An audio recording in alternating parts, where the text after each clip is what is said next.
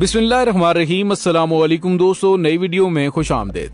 दोस्तों, पंजाब में रेंजर्स को तलब कर लिया गया। खतरे की घंटियाँ बज गईं, जबकि इससे लगा है ऑपोजिशन को एक बड़ा झटका। शहबाज शरीफ गुस्से से पागल, सुप्रीम कोर्ट पर एक और हमला कर दिया, जबकि इस खराब होती सूरत हाल में पाकिस्तान का दोस्त चाइना भी खामोश न रह सका। ऑपोजिशन को वार्निंग जारी कर दी गई।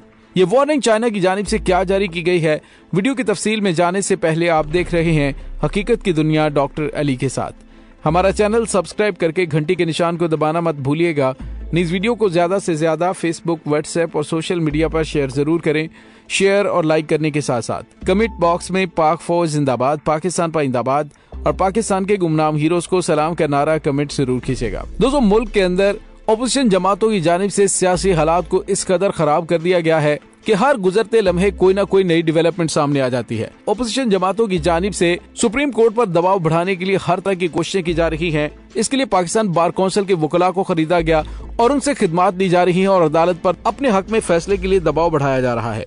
लेकिन दोस्तों, पाकिस्तान की सुप्रीम कोर्ट किसी भी दबाव को खातिर में नहीं ला रही। दोस्तों, यहाँ पे आपको ये भी बताते चलें, उमर अताब बदयाल की सरबराही में अदालत उजमा का पाँच रुकनी लार्जर बेंच उसने इस मामले पर लिए गए असकुद नोटिस और मुतलका फ्रीकैन की दरखास्तों पर आज मुसलसल पाँचवें रोज समात करेगा। समाज के आगाज़ में पंजाब की सूरत हाल का तस्करा हुआ और एडवोकेट जनरल पंजाब अहमद अवैस ने रोस्टम पर आकर कहा कि रात को निजी होटल में तमाम अरकान सूबाई असम्बली ने हमजा शहबाज को वज़ीर अला बना दिया है। सबक गवर्नर चौधरी सरवर आज हमजा शहबाज से बाग जनाब में हलफ लेंगे। एडवोकेट जनरल ने कहा कि हमजा शहबाज ने ब्यूरोक्रेट्स की मीटिंग भी आज बुलाई है। आयन इन लोगों के लिए इंतहाई मामूली सी ही बात है। इस पर चीफ जस्टिस उमर अताब बंदयाल ने कहा कि पंजाब के हवाले से कोई हुक्म नहीं देंगे। पंजाब का मामला हाईकोर्ट में लेकर जाएँ। कौमी असम्बली के केस से तवज्जो नहीं हटाना चाहते। जस्टिस मजहर अहमद मियाँ खेल ने कहा कि कल पंजाब असम्बली के दरवाजे सील कर दिए गए थे। क्या असम्बली को इस तरह सील किया जा सकता है? बाद चीफ जस्टिस ने मुस्लिम लीग नून के वकील आज़म नजीर तारड़ और एडवोकेट जनरल पंजाब को रोस्टम से हटा दिया। दोस्तों, इस तमाम सूरत हाल में, दोस्तों, इस तमाम सूरत हाल को कंट्रोल करने के लिए पाकिस्तान के न्यूट्रल इदारे भी न्यूट्रल नहीं रहे और पंजाब असम्बली के अतराफ में दफ़ा एक सौ चवालीस नाफिज कर दी गई है। सूबाई असम्बली के 500 गज के अहाते में चार से ज़्यादा अफराद के इकट्ठे होने पर पाबंदी है। एंटी राइट फोर्स भी तलब कर ली गई है। अमनो अमान की सूरत हाल खराब करने वाले किसी भी शख्स को गिरफ़्तार करने की वार्निंग भी जारी कर दी गई है। और दोस्तों बताया गया है कि आइंदा पंद्रह रोज के लिए रेंजर्स को पंजाब के दारकूमत लाहौर में तलब कर लिया गया है। अपोजिशन के इरकान असम्बली की जानब ऐसी हंगामा अराई किए जाने के खदशे के पेश नज़र महकमा दाखिला पंजाब ने ये बड़ा फैसला किया है। महकमा दाखिला पंजाब की जानब ऐसी जारी करदा नोटिफिकेशन के मुताबिक जिस तरह ऐसी अपोजिशन जमातों ने कल एक निजी होटल के अंदर खुद ही वज़ीर अला मुंतब किया, खुद ही वो ज़बरदस्ती पंजाब के वज़ीर अला बनने की कोशिश कर रहे हैं तो ऐसे में हालात किसी वक्त भी खराब हो सकते हैं। जबकि दूसरी जानब डिप्टी स्पीकर दोस्त मजारी को ईवान में दाखिल होने से भी रोक दिया गया। उन्होंने पंजाब असम्बली पहुंचकर मीडिया से गुफ्तगू करते हुए कहा कि पीटीआई मुझे छोड़ना चाहती है, लेकिन मैं आज भी पीटीआई के साथ हूँ। जिस दिन पीटीआई को छोड़ा, बाकायदा मीडिया के सामने छोड़ने का ऐलान करूँगा, मैं किसी से डरता नहीं हूँ। दोस्तों, शहबाज गिल ने कहा कि ये झूठा शख्स है, इसका काम ही झूठ बोलना है।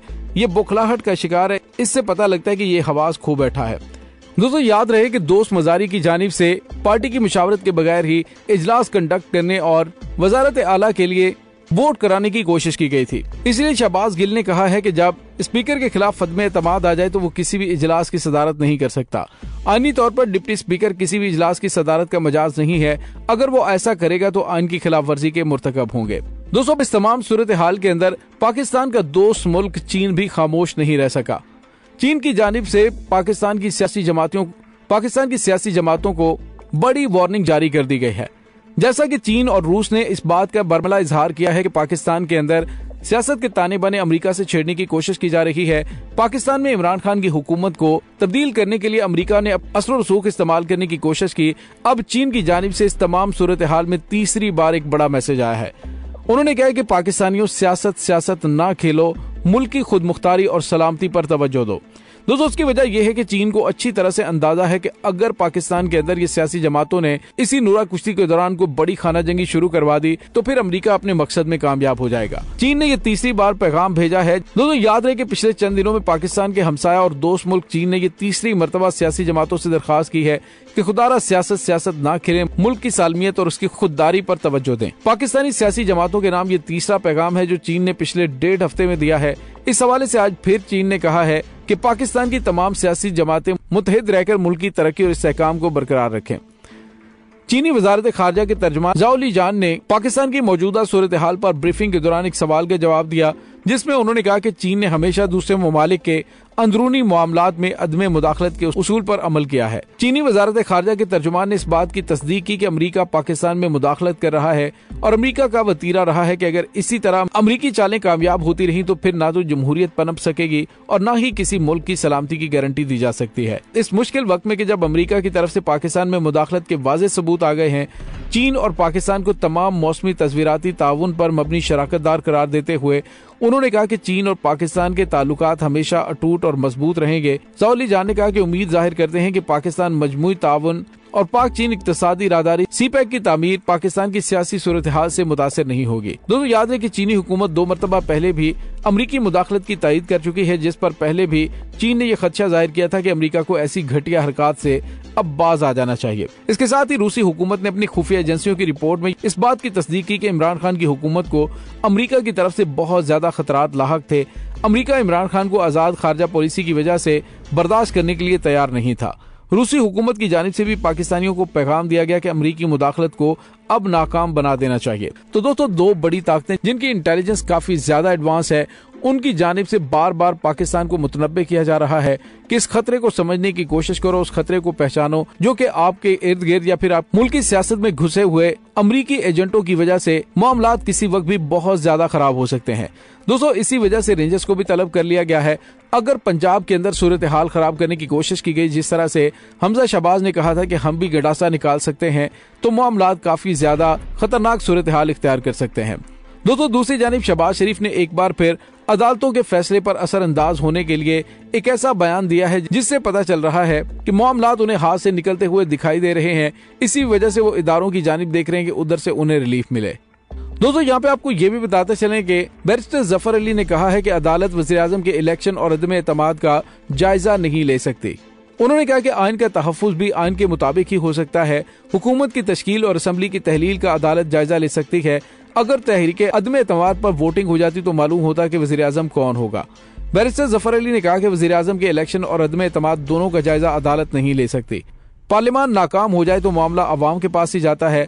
आयन के तहफ़ के लिए उनके हर आर्टिकल को मद्देनजर रखना होता है। चीफ जस्टिस ने कहा कि अगर ज़्यादा किसी एक रुकन की बजाय पूरे ईवान से हो तो क्या होगा? बैरिस्टर ज़फ़र अली खान ने कहा कि अगर जजेस के आपस में इख्तलाफात हों तो क्या पार्लियामेंट मुदाखलत कर सकती है? जैसे पार्लियामेंट मुदाखलत नहीं कर सकती, वैसे अदलिया भी नहीं कर सकती। अली ज़फ़र ने जुनेजो केस के फैसले का हवाला देते हुए कहा कि मोहम्मद खान जुनेजो की हुकूमत को खत्म किया गया। अदालत ने जुनेजो की हुकूमत के खात्मे को गैर आइनी करार दिया। अदालत ने असम्बली के खात्मे के बाद इकदाम को नहीं छेड़ा। ताम दोस्तों, सुप्रीम कोर्ट की जानब से कोई हतमी फैसला नहीं सुनाया गया, लेकिन सुप्रीम कोर्ट भी मामला को बगैर तसादम के खुश उसलूबी से हल करने की कोशिश कर रहा है। दोस्तों, इस तमाम सूरत हाल के बारे में आपका क्या कहना है? कमेंट सेक्शन में अपने ख्याल का इजहार ज़रूर कीजिएगा। इसके साथ ही डॉक्टर अली को इजाज़त दीजिए, इंशाल्लाह बहुत जल्द मिलते हैं एक नई वीडियो में। तब तक के लिए अपना बहुत सारा ख्याल रखिएगा। पाक फौज जिंदाबाद, पाकिस्तान पर पाकिस्तान के गुमनाम हीरोज को सलाम। अल्लाह बारिश